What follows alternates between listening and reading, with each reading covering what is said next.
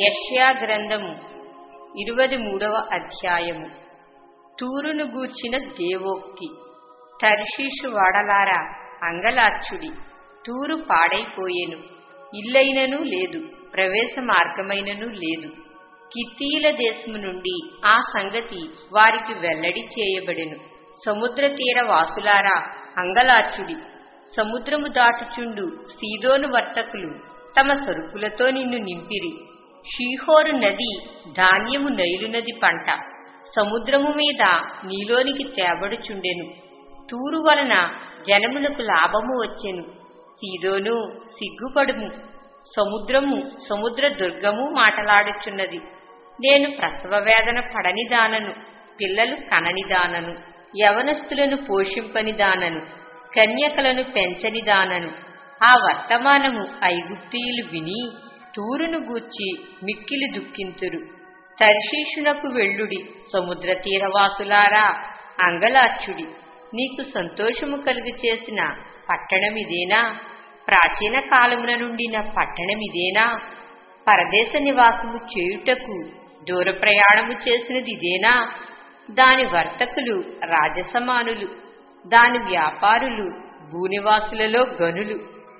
కిరీటములు నిచ్చుచుండు తూరుకు ఇలాగు చేయనెవడు ఉద్దేశించెను? సర్వసౌందర్య గర్వాతిశయమును అపవిత్రపరచుటకును భూమి మీదనున్న సర్వగనులను అవమానపరచుటకును. సైన్యములకు అధిపతియగు యుహోవా ఇలాగు చేయనుద్దేశించెను. తర్షీషు కుమారి నీ దేశమునకిక నడికట్టు లేకపోయెను. నైలు నది ప్రవహించినట్లు దాని మీద ప్రవహించుము. ఆయన సముద్రము మీద తన చెయ్యి చాపెను రాజ్యములను కంపింపచేసెను. కణాను కోటలను నశింపచేయుటకు యహోవా దాని గూర్చి ఆజ్ఞాపించెను. మరియు ఆయన సీదోను కన్యక చెరపబడిన దానా నీకికనూ సంతోషముండదు. నీవు లేచి కిత్తీముకు దాటిపోమ్ము. అక్కడనైనను నీకు నెమ్మది కలుగదు. ఇదిగో కల్దీయుల దేశమును చూడుము.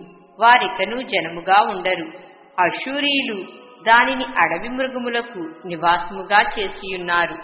వారు కోటలు కట్టించి దాని నగరులను పడగొట్టియున్నారు. తర్షీషువాడలారా అంగలార్చుడి మీ దుర్గము పాడైపోయెను. ఒక రాజు ఏలుబడిలో జరిగినట్లు తూరు ఆ దినమున డెబ్బది సంవత్సరములు మరువబడును. డెబ్బది సంవత్సరములైన తరువాత వేశ్యల కీర్తనలో ఉన్నట్లు జరుగును. ఏమనగా మరువబడిన వేశ్య సితారా తీసుకుని పట్టణములో తిరుగులాడుము. నీవు జ్ఞాపకమునకు వచ్చునట్లు ఇంపుగా వాయించుము. అనేక కీర్తనలు పాడుము.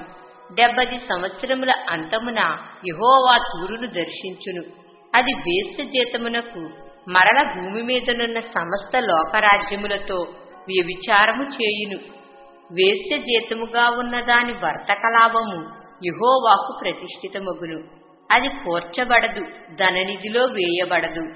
యహోవా సన్నిధిని నివసించు వారికి సంతుష్టి ఇచ్చు భోజనమునకును ప్రశస్త వస్త్రములకును. ఆ పట్టణపు లాభము ఆధారముగా ఉండును.